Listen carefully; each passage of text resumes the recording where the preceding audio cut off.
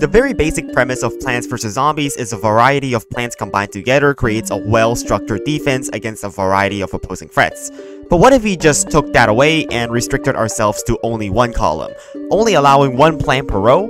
Can you still beat the game this way? The answer is no, because the game forces you to plant 2 pea shooters before sending any zombies in the first level of the game, hence it is impossible to beat Plants vs Zombies with only one column, but wait, don't go yet. Since 1-1 is not beatable using only one column, we can modify the challenge. Can you beat Plants vs Zombies with only one column, from level 1-2 to level 5-10? Stick to the end to find out, because these levels get quite insane.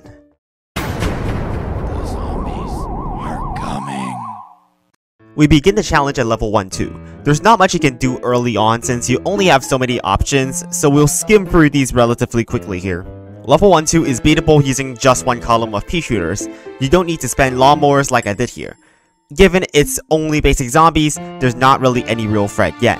Level 1-3 introduces conehead zombies. Although having more health, one pea shooter can still kill a lone conehead in its row without any problems. If a conehead comes behind a basic zombie, it's still not an issue. Once a pea shooter dies, plant another one in its spot instantly, and if that one also dies, stall by planting a sunflower and then replant.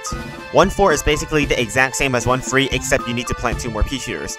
Not much to say, so let's move right on. 1-5 is walnut bowling. Bowling from any column makes absolutely no difference at all, so I'll just skip this level. 1-6 introduces the pole vaulting zombie. Do you see the problem here? Pole vaulters do not die to a single pea shooter even when they are the only zombie in its row. This means we're forced to sacrifice a lawnmower for every pole vaulter or spend a cherry bomb. For this level, there's only one flag so it's not a problem, as lawnmowers will reliably take out all the pole vaulters.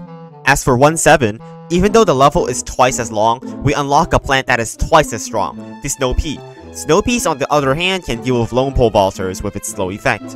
To afford them, we can simply plant 5 sunflowers early on and dig them up for potato mines for any incoming zombies.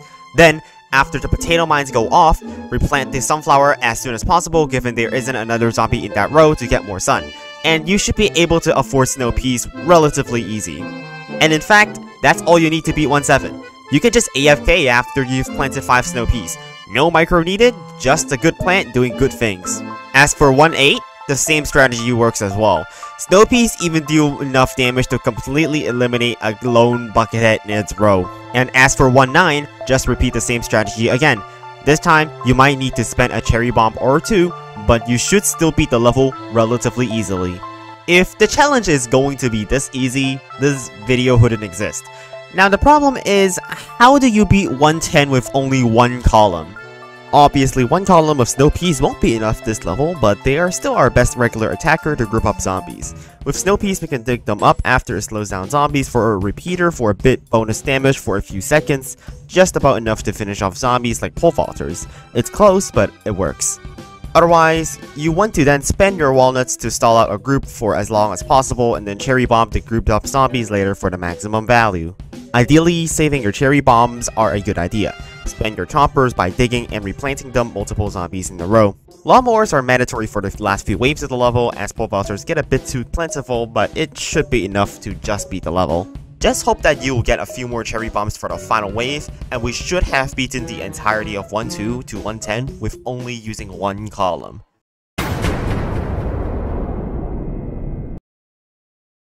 Nighttime is where it suddenly gets very bad very quickly, because it's, you know, nighttime, you don't get sun from the sky. But wait, you can't make sun if you want to defend all 5 rows. In nighttime, if you want to defend a row, you have to dig up your sun producer to plant down your defensive plant. Things start getting expensive really quickly and you have no sun to work with and only one column of puff shrooms. 2-1 wasn't an issue, as it was only one flag, with only basics and newspapers.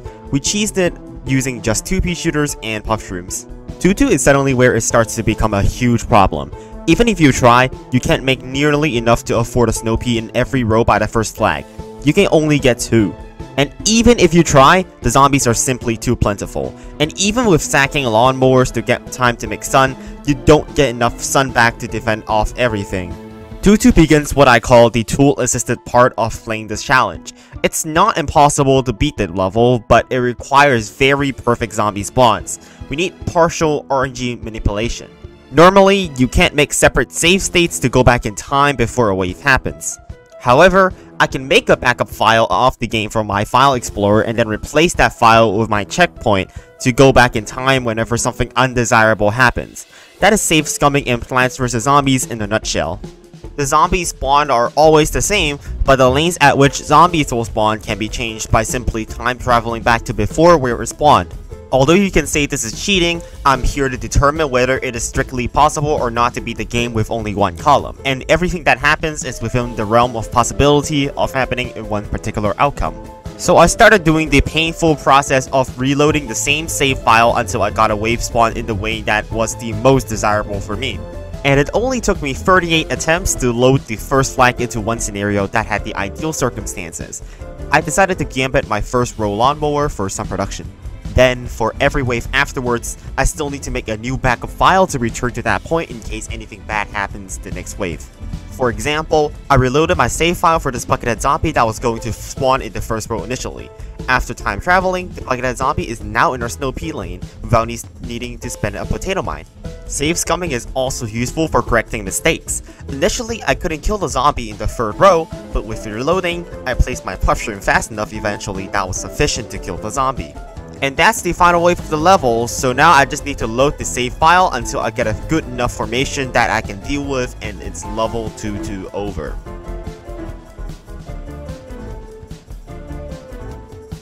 Technically, I could grind for 50 hours to get enough coins for everything I want in the shop, but I'll just save time and give myself unlimited coins to buy all the seed slots and upgrade plans. I'm doing so using PvZ tools, which I'll be using later as well for something else. Do Free is an incredibly simple level. Simply puff shrooms for every basic zombie, a potato mine for every conehead, and only one fume shroom is needed for a one screen door before the final wave. 2-4, and now we have a new problem at hand. If you thought 2-2 was bad enough with us time traveling 38 times back into the past for one wave, prepare for the upcoming insanity. 2-4 has both pole vaulters and screen door zombies, and I think immediately you can see the problem here. If you pick Fume Shroom, not only do you die to pole vaulters, but also die to conehead zombies. If you pick Snow Peas, you're certainly not going to live against screen door zombies because they can't be slowed down. And obviously, you can't use both simultaneously because you're only allowed one plant per row. After more than 2 hours of save scumming and trying to beat this level, I thought of a new way to make this not so unbearable by introducing some more partial RNG manipulation. Introducing what I call the Foreseer. If we know what the next wave spawns deterministically from save scumming, why can't we apply that to the whole level itself?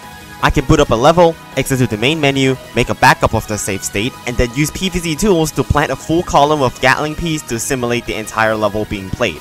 Beating the level using Gatling Peas would be illegitimate, but what is legitimate is we can look at what zombies will be sent at which wave number from start to finish of the level.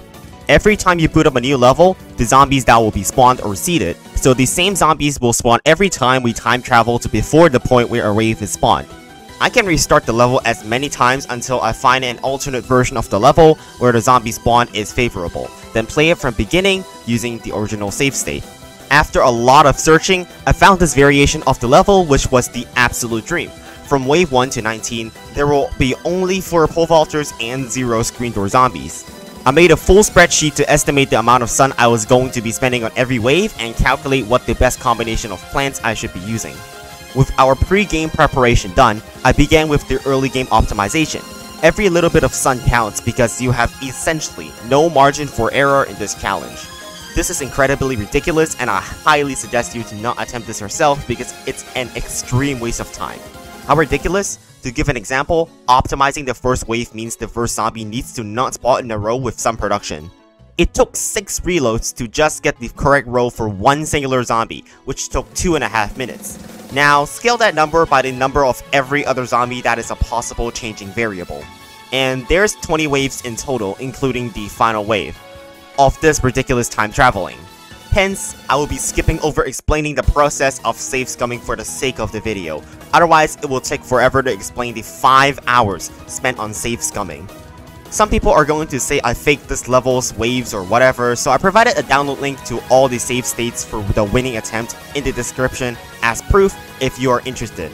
There will be a link to an unlisted video in the description of the full playthrough of 2-4 with all the pauses cut out. After a whole lot of save scumming, we arrive in the final wave, and I have to pull out the next tool, slot switching. Technically, I can switch any seat I never used to any other seat I need. It's within the realm of possibility, so it's still possible for someone to ever try this challenge without these scumming methods to win. To give an example how I solved these puzzles, let's just talk about the final wave. In this level, the final wave has 9 basics, 1 conehead, 1 vaulter, and 1 screen door. The winning solution is slot switching to Fume Shroom since we have Snow Pea to kill the pole vaulter that spawns on the 5th row since time travel allowed us to put it in the Snow Pea row. Then, with time travel, we also make the conehead go into the top row which we don't care to defend since that row has a lawnmower. Row 2 and 3 each only have one basic, since the lawnmowers were recently used, hence Puffshroom solves those two rows with only gravestone spawns. And therefore, Fume Shroom will solve row 4 and 5 because then there's only basics and the screen door zombie left. Hence, I have just proven that it is possible to beat level 2-4 with only using one column of plants. Only took us learning to time travel, switch seed slots mid-level, and foreseeing the future. With that stupidity out of the way, I'll be skipping 2-5 because you don't even need to plant plants to beat it. 2-6 introduces the football zombie, but it is basically just a repeat of level 2-3, since there's only one football zombie before the first flag, and you just kill it using a Hypno Shroom. Level 2-7 sees the return of the two-flag format as well as Screen Door Zombies, so I was prepared to endure another hellhole of what 2-4 was. This time, I used the Foreseer method to load into a level where the football zombie only spawned in the final wave, making the mid-game significantly easier to solve.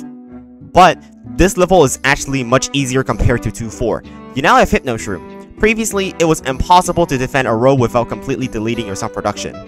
Now, Hypno Shroom means even though, yes, we still have to dig up our Sun Producer to plant it, the Hypnotized Zombie provides temporary defense for your Sun Producer.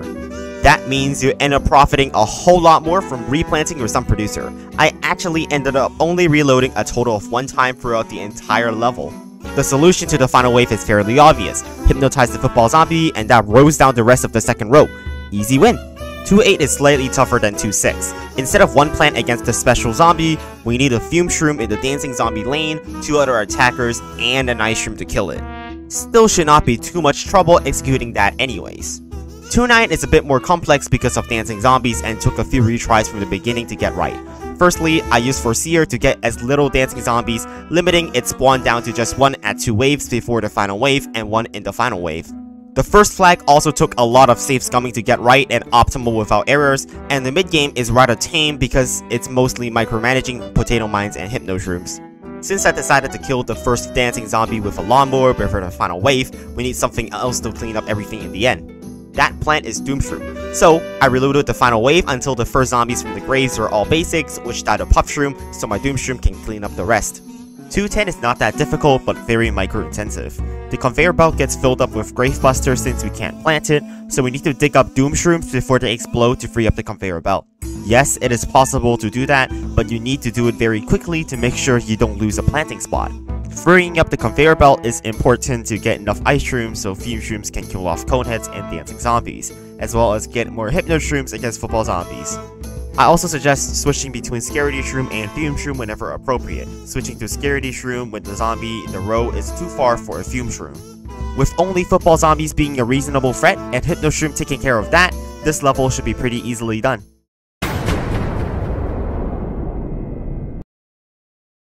I'll just completely skip 3-1 because it's literally just basics and coneheads, and the difference is simply spending 50 more sun on lily pads and defending one more row. So, we begin on 3-2, and to be fair, this level is pretty much a joke because it's daytime and we get sun from the sky. With simple sun farming in the early game, by the time the first flag hits, we already have 425 sun in the bank and a snow pea in every row. Newspapers are basically just weaker conehead zombies, and bucketheads die to snow peas, as shown in 1.9. Football zombies die to squash, potato mine, chomper, or cherry bomb. With 4 backup instant kills to choose from, this level is very easy and you should have no problem passing it. Free Free unlocks the Threepeater, which is a blessing for Snorkel zombies. The strongest zombie is Conehead, and we know that pea shooters can deal with lone Coneheads as seen previously. Therefore, the solution is very simple. It's just two Threepeaters and two Walnuts in the water to block off the Snorkel zombies, and that's all is required to beat this level. Free 4 is comparably a pain for us to deal with. First of which, pole vaulters added into the equation of snorkel zombies makes it a nightmare to deal with. The only way I found to complete this level is with an asymmetrical defense by having Snow-Pea in the top row, mainly because I can use save scumming to force pole vaulters into that row.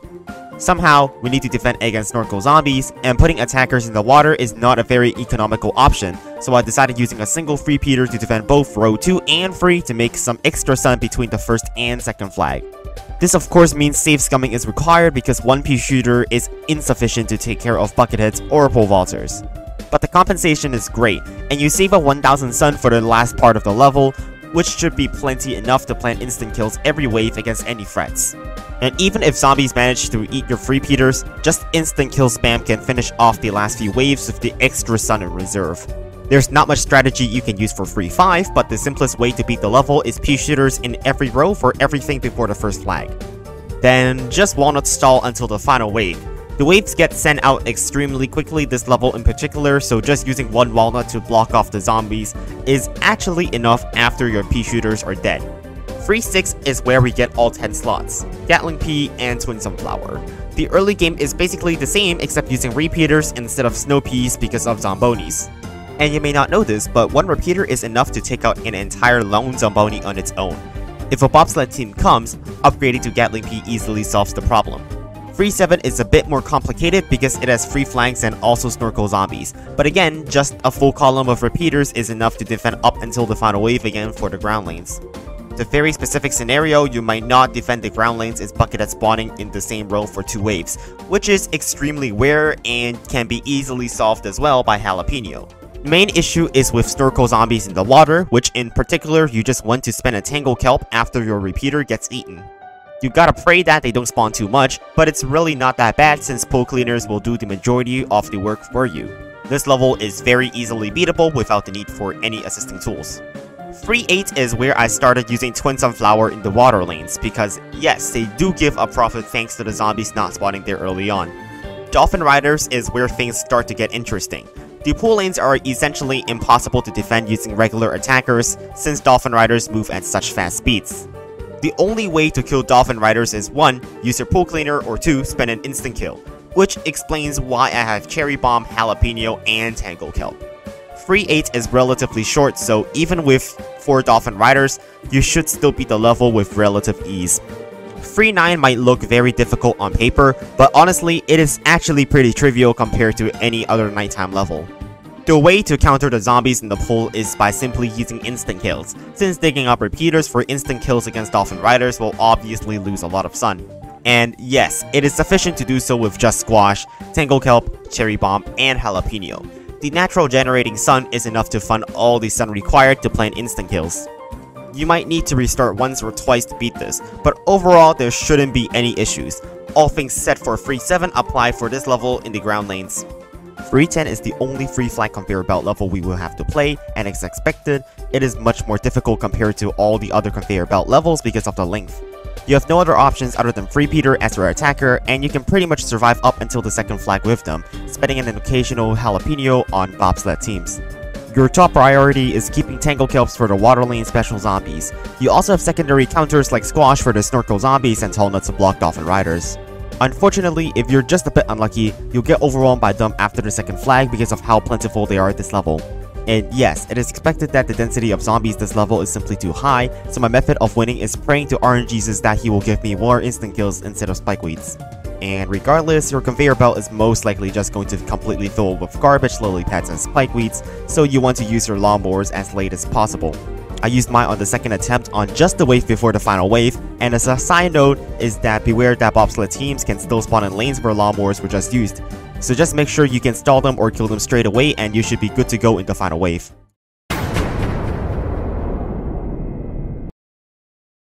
I'll directly skip to 4-2 as Plantern is completely unusable in this challenge and hence unlocking it does nothing.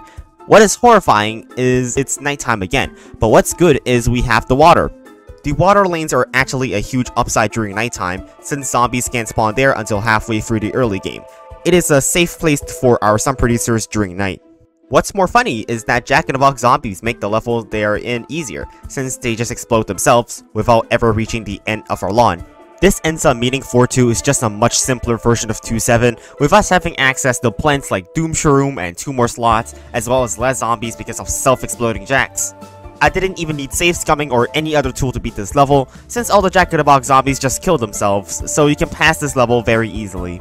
4-3 is yet another repeat of something like 2-3, 2-6, or 2-8, with a requirement to kill the one special zombie before the final wave, this time being a single cactus. The balloon zombie is basically just a normal basic zombie after a cactus shoots it down, so nothing more to say. So, the next level... Oh, hell no, man. What the... 4-4 is easily the most difficult fog level. There's also not much margin for error in this level, as Dolphin Riders are even harder to deal with compared to Pole Vaulters. On top of that, there's also balloon zombies, and which you don't want to be spending cactus on them because cactus is very cost inefficient. I ended up using Foreseer to generate another spreadsheet and save scum this level. First, using Threepeaters can solve all the basics and coneheads, and yes you can afford them because of the extra sun from the water lanes. My general solution for this level is to simply use lawnmowers on balloon zombies to save sun since blovers are pretty expensive for how limited our sun is. The reason I used Threepeater is opening up the water lanes for sun production, which we need the reserve sun to afford more instant kills for the later half of this level. Using Tangle Kelp is the ideal solution to Dolphin Riders. With only 4 of them spawning this level using Foreseer, I can stack my Pool Cleaners and then only need to spend 2 Tangle Kelps for the remaining 2 Dolphin Riders. With a combination of instant kills, the final wave should be solvable. Vasebreaker is extremely easy. You have 3 stages to get through. The first stage has only 5 zombies and you get 5 squashes, so the solution is extremely simple. The second stage is 5 basics, 1 buckethead, and 1 football zombie. To solve this, simply squash for the buckethead zombie and football zombie, then snow peas for the remaining zombies. For the third stage, we can just use all our lawnmowers because we cannot counter Dancing Zombie with the plants that we have, and that's Vasebreaker done. 4-6 marks essentially the end of the fog levels. It is because in this level, you unlock the Cattail, and Cattail is just a repeater in every lane. With two cattails, you just have an entirely portable Gatling Pea. And yeah, I'm pretty sure you can see where this is now going.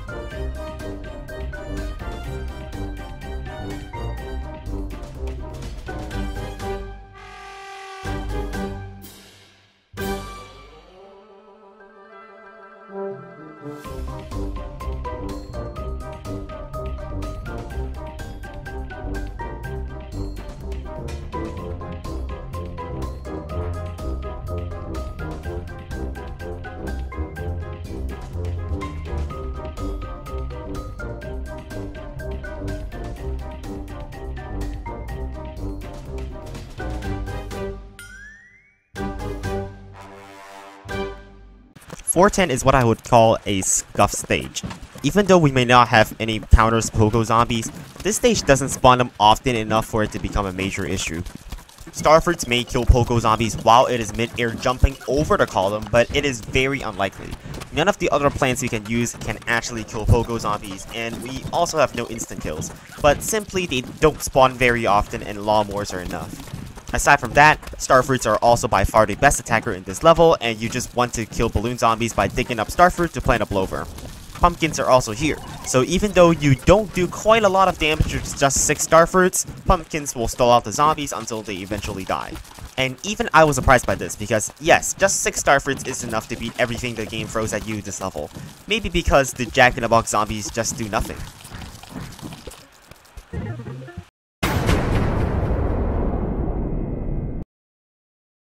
In 5-1, we only have Cabbage-pult, which has the same damage as Pea Shooters, and they should do enough damage against Coneheads and Basics.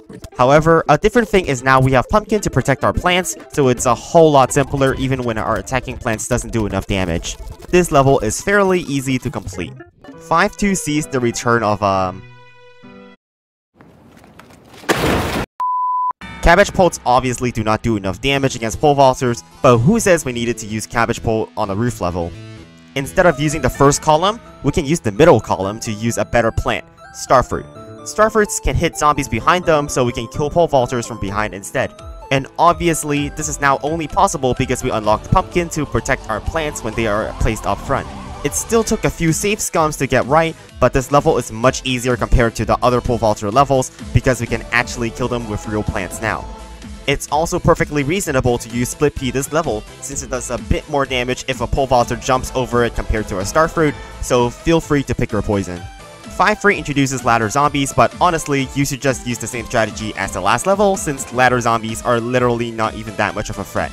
They spawn so rarely as only 3 of them showed up for me, and honestly, between your roof cleaners and your choice of either squash, cherry bomb, or jalapeno, you shouldn't have a trouble killing them all.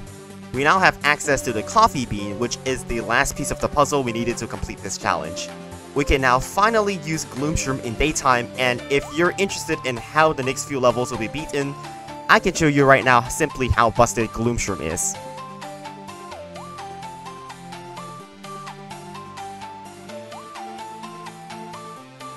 Yeah, basically, you don't need to do anything other than just plant pumpkins, and you have a reserve of like a thousand sun even with only two sunflowers. So, yeah, there's not much you can do for strategizing to beat this level either you just simply dig and replant choppers if there's a zombie eating the pumpkin or just cherry bomb. I'm not sure what needs to be said, but the level is pretty straightforward and the additional help from cherry bombs are enough to take care of practically everything. Catapult zombies are introduced in 5-6, which, yes, we cannot use Gloomshroom for them, but we can just use basically any straight attacker on the roof instead. Using the straight attackers on the 5th column is more strategical this level to make sure that you have some pad flower pots in the back to tank for the catapult zombies. And yes, Threepeaters are plenty enough to beat the level with the help of Pumpkin protecting them. We now get to use the Umbrella Leaf, and now, yes, we can use Gloomshroom again, even though, yes, Catapult Zombies may trample your Gloomshrooms. By the time it happens, you have almost 2000 sun spare, because I forgot that Twin Sunflower also does happen to exist. So go wild because the game can send 10 catapult zombies and you would still win because I would be able to buy 5 squashes and 5 cherry bombs and still have a lot of sun left over. The cost efficiency and how overpowered Gloomshroom is as a plant is just completely unmatched by basically any other attacker. So by this point, yes, the challenge is basically over. 5-8 speaks the same story for itself. For the level to be harder, even the game decided to send a Gargantuar on the wave after the first lag immediately. But I already had more than 1000 sun in reserve. Like, you could have sent 4 more Gargantuars to me, and I probably would have still won regardless because of how much sun I'm getting just using Gloomshroom and pairing it with Twin Sunflower. And I'm pretty sure I do not need to repeat myself for 5-9 because the strategy this level is just a combination of what you did in 5-7 and the level previous. By the time Catapult Zombies show up, I had 1600 sun in reserve while playing pretty sloppy, so uh, yeah, I'm pretty sure that's enough to beat the level. An added bonus is Jack-in-the-Box zombies, I guess, because they just explode themselves still, so it adds pretty much no value to the zombie attack and we are at the final level of the game, on our way to fight Zomboss, and fortunately, this is the easiest level that you need to plant plants. When a roof cleaner goes off from a zombie, not crushed by an ice ball or fireball, Zomboss will stop spawning in that lane for the rest of the level unless all 5 roof cleaners are used. Therefore, this level can actually be beaten using only one singular tile, using just Jalapeno and Ice Shroom. And now begins the process of simply repeatedly playing instant kills. After a whole lot of jalapenos, we have it level 510, beaten using only one singular tile? So the answer is yes. Plants vs. Zombies is beatable using only one column, except the first level of the game. But should you try and beat it using only one column yourself? Well, I think you know the answer to that question. If this video is received well enough, I'll do this with all the minigames as well and see if they are possible as well with only one column. Also, shout out to Samen for giving me this idea originally and helping me out throughout this challenge as well as with the thumbnail. Remember to subscribe and thank you to our channel members for your constant support. For now, have a great day and I'll see you all next time.